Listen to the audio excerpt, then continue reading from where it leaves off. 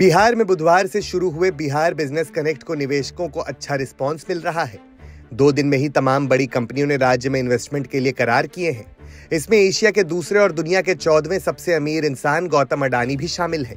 बिहार के विकास के लिए आगे आया अडानी ग्रुप राज्य में सतासी सौ करोड़ रुपए से ज़्यादा का निवेश करने जा रहा है। बिहार बिज़नेस कनेक्ट 2023 के दूसरे दिन अडानी समूह की ओर से बिहार में 8,700 करोड़ रुपए के इन्वेस्टमेंट प्लान के बारे में जानकारी शेयर की गई।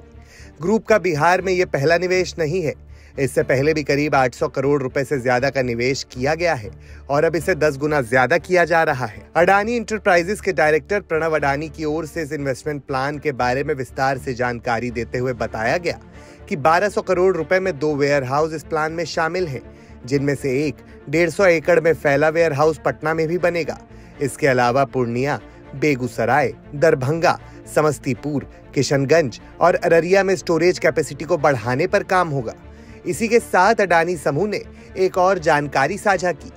अगर सतासी सौ करोड़ रुपए का इन्वेस्टमेंट बिहार में होता है तो इससे कम से कम दस लाख रोज़गार उत्पन्न होंगे।